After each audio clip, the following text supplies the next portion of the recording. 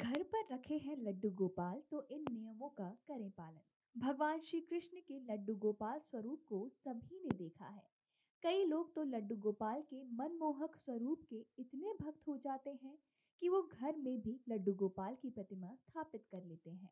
वहीं कुछ लोग ऐसे भी होते हैं जो अपने घर के मंदिर में लड्डू गोपाल को रखना तो चाहते हैं, मगर उन्हें लड्डू गोपाल की प्रतिमा को रखने के सही नियम या कायदे नहीं पता होते। आपको बता दें कि अन्य देवी देवताओं से अधिक लड्डू गोपाल की सेवा करनी होती है, क्योंकि ये श्री कृष्ण का बाल स्वरूप है। इसलिए घर पर यदि आप लड्डू गोपाल की प्रतिमा रख रही हैं तो आपको इन्हें रखने के कुछ नियमों का पालन ज़रूर करना चाहिए। जिस तरह आप रोज स्नान करते हैं, ठीक उसी तरह आपको रोज लड्डू गोपाल को भी स्नान कराना होगा। लड्डू गोपाल को स्नान कराने के लिए आपको दूध, दही, शहद, गंगा जल, घी का इस्तेमाल करना चाहिए। लड्डू गोपाल को स्नान कराने के लिए शंख का इस्तेमाल करेंगे तो इससे माता लक्ष्मी भी प्रसन्न हो जाएँगी। आपको बता दें कि शंख में देवी लक्ष्मी का वास होता है। लड्डू गोपाल को स्नान कराने के बाद जो मिश्रण बने उसे पंचामृत समझकर आप पी भी सकते हैं। इतना ही नहीं, आप इस मिश्रण को तुलसी के पौधे पर विसर्जित भी कर सकते हैं। इस बात का विशेष ध्यान रखें कि इस मिश्रण को नाली में ना बहाएँ, श्रृंगार करें। स्नान कराने के बाद लड्डू गोपाल का श्रृंगार भी ज़रूर करना चाहिए। वैसे तो धार्मिक मान्यताओं के अनुसार जो वस्त्र लड्डू गोपाल को एक बार पहना चुके हैं, उसे दोबारा ना पहनाएँ। यदि आप नियमित रूप से लड्डू गोपाल को नए वस्त्र अर्पित न कर सके तो आपको पुराने ही वस्त्रों को धोकर लड्डू गोपाल को पहनाना चाहिए। इसके साथ ही लड्डू गोपाल का रोज श्रृंगार करें, उन्हें चंदन का टीका लगाएँ और फिर उनकी नज़र भी उतारें। लड्डू गोपाल को नियमित रूप से चार भोग चढ़ाएँ। धार्मिक महत्व के अनुसार भगवान श्री कृष्ण शाकाहारी थे और सात्विक भोजन ही करते थे।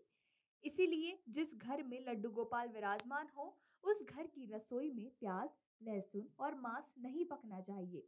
आप रसोई में जो भी भोजन पकाएँ, उसका भोग लड्डू गोपाल को ज़रूर लगाएँ। वैसे आप माखन मिश्री, बूंदी के लड्डू, खीर और हलवे का प्रसाद भी चढ़ा सकते हैं। आपको बता दें कि श्री कृष्ण को खीर अति प्रिय है। अगर आप कम मीठी और बिना मेवे की खीर का भोग लड्डू गोपाल को चढ़ाती हैं तो वो आपसे अति प्रसन्न हो जाएँगे। जब जब लड्डू गोपाल को भोग लगाएँ, तब तब उनकी आरती करना ना भूलें। भगवान श्री कृष्ण की आरती के साथ ही आपको धूप बत्ती भी ज़रूर जलानी चाहिए। भगवान श्री कृष्ण को बेले के फूल और केला अति प्रिय होता है। आरती करते वक्त आप लड्डू गोपाल को ये चीज़ें भी ज़रूर अर्पित करें इसके साथ ही लड्डू गोपाल के पास श्री राधा रानी की प्रतिमा ज़रूर रखें और उनकी भी आरती करें। दिन में चार बार लड्डू गोपाल की आरती करना अनिवार्य होता है। लड्डू गोपाल को यदि घर पर स्थापित किया है तो उनका ख्याल आपको बिल्कुल वैसे ही रखना होगा, जैसे घर के छोटे बच्चे का रखा जाता है। इसलिए घर में लड्डू गोपाल को कभी अकेला ना छोड़े।